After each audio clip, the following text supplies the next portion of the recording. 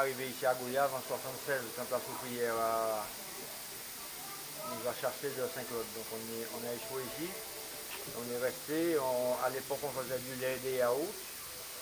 Euh, on s'est battu pendant pas mal de temps avec le lait les yaourts. Et ensuite, euh, on a disparu parce que les grandes euh, n'ont pas joué le jeu vraiment. Et quand Danone est arrivé, ils ont commencé à se battre avec Yoplait et on n'a pas pu tenir.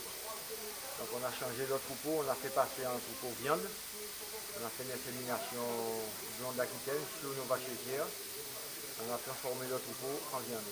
Et en 93, euh, comme il euh, fallait qu'on se diversifie parce qu'on sentait que ça, n'allait pas bien, c'est à peu près à cette période-là qu'on a fait le changement de troupeau. On a aussi commencé à planter un peu de bananes. Et on est arrivé jusqu'à 15 hectares de bananes. Ensuite, il y a eu une crise, on est redescendu à 6 hectares. Là, on est remonté à 12 et on, reste à 12 hectares pour le moment. Donc on a pas mal d'activités, on fait aussi du miel, enfin on fait l'élevage d'abeilles et elle, elle produit du miel. Donc on a une soixantaine de ruches qu'on amène sur la Grande Terre euh, au, mois de janvier, de janvier jusqu'à avril-mai. Et ensuite on les amène sur la côte Soulevant, à des pointes orbinantes, jusqu'au mois d'août. Et c'est pourquoi toutes ces différences Alors ça c'est pas. On suit, alors il y a les fleurs. Parce qu'il faut les amener, alors il y a des fleurs, parce que bon, à Gouillave, il y, a, quelques fleurs, mais il n'y a pas de fleurs pour avoir une grosse production de miel. Donc on est obligé de les transporter euh, sur les sites où il y a énormément, de, fleurs. Par exemple, à, sur Sainte-Anne, à Mine, il y a beaucoup de campèches. Donc on peut faire beaucoup de miel. Ensuite, la côte sous le vent, c'est du tendre à caillou, il y a du campèche aussi. Le tendre à caillou, Montvin, euh, différentes fleurs de forêt, le hêtre, le bois d'aine, etc. Sinon, sur l'exploitation, on a, un petit marché qu'on fait le samedi matin. Donc, on vend les produits de la ferme. On a des œufs, des poulets fermiers, des pigeons. Euh, de temps en temps, on fait des pintades pour Noël et pour la fête des mères. Euh, accessoirement, on tue aussi un cochon ou un petit veau qu'on débite et qu'on vend au, comptoir. Donc, c'est un élevage euh, varié. C'est pluridisciplinaire. Quoi. On est très diversifié. Et surtout qu'on travaille en rotation culturelle, c'est-à-dire que quand on plante de la banane, on plante toujours sur une parcelle qui est en prairie. Donc ça fait qu'on n'utilise pas de produits phytosanitaires.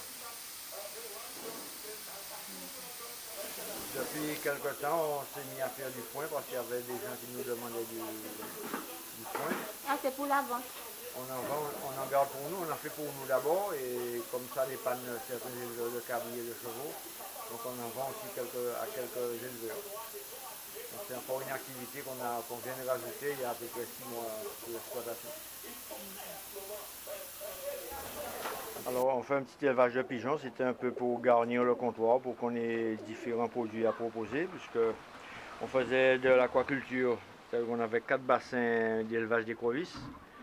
Et avec les analyses, ils ont trouvé qu'il y avait du chlordécone, donc ils nous ont fait fermer l'exploitation aquacole, sans aucun dédommagement. Hein. Donc on, a arrêté les écrevisses et actuellement on a, des, pigeons qu'on abat tous les 15 jours. On fait un petit abattage de 10-12 pigeons qui sont vendus au comptoir de la ferme.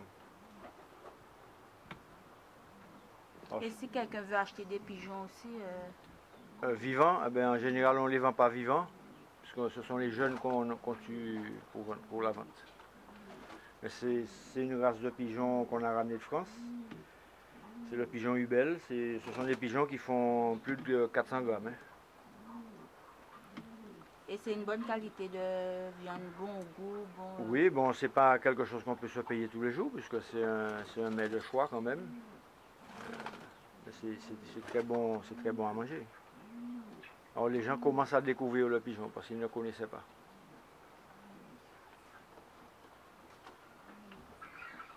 l'entretien de la prairie, ça se passe comment? Vous mettez un produit Alors, pour c'est-à-dire qu'on a toutes nos prairies sont en fourche. Comme on coupe l'herbe régulièrement à peu près tous les 45 jours, donc euh, l'entretien se fait naturellement. Le fait de couper l'herbe, ça détruit les, mauvaises herbes. Donc euh, après la coupe, on remet systématiquement de l'engrais à, à, chaque coupe, sur une base de 250 kg à l'hectare comme on a des terrains qui sont pauvres, il faut obligatoirement mettre de l'engrais régulièrement.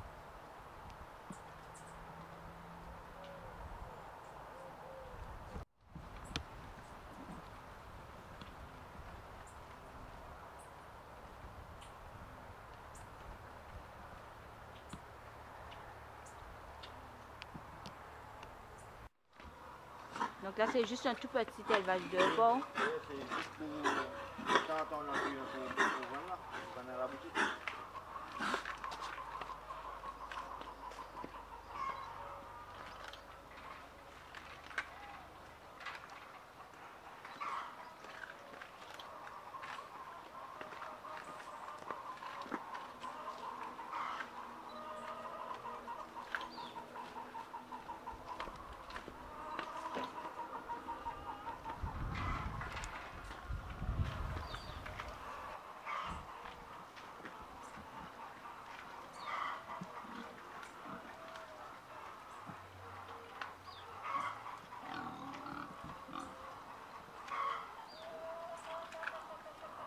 pendant